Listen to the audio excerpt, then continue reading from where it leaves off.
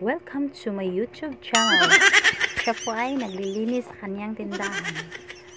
Yan po, na inaayos niya po yung loob at sa labas.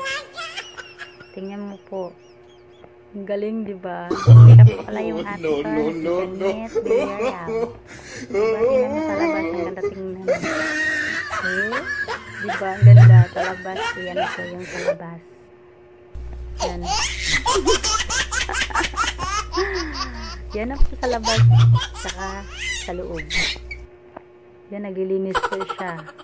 Hmm, nayos niya po yung nasa gitna niya, nilagay niya po sa gilid. Yan po si Janet. Ayun. Oh, ayaw niya ma-video kasi nagagalit siya sa akin. Wala siyang choice. Ito po yung kalabas niya. Yan po, yung nakakabit. Yan.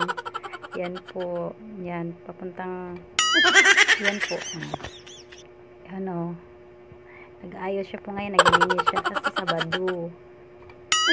Yan po. O yan. Ito po palang pwesto ko sa kabila. Oh. Kaso madilim. Sana all. po. Sa kadaanan ng Sana all. Pupunta, pupunta po pala ako kay Monique. Yan po.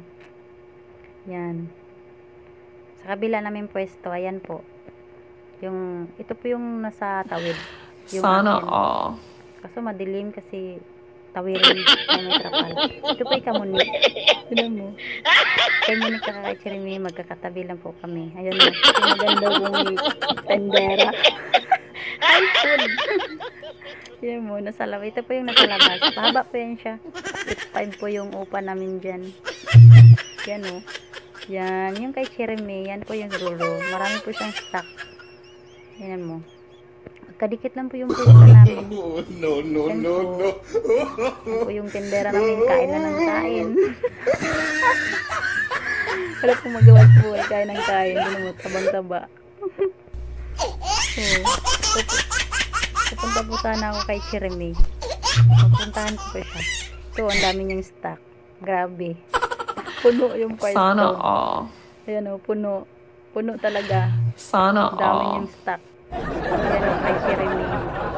Bill, Yarial. Yan, mag, yung pisto ko, yung pisto niya. Diba? Wow, kain tayo.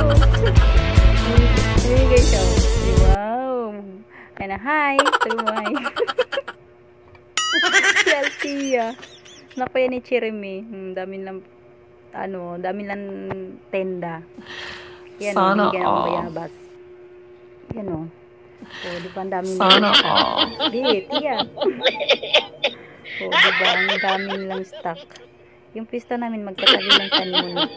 Si Monique kasi yung pinapabantay ko dito eh. Yan po yung tindera kong maganda. Di ba? Makikita na kayo ng boyfriend mo. Joke lang. si Monique ang taba. Yan.